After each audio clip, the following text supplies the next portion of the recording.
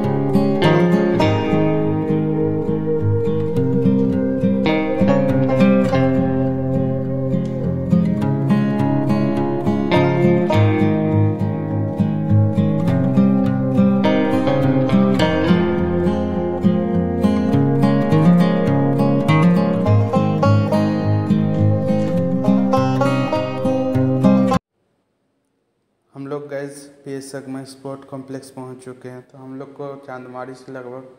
fifteen minute लगा है पहुँचने में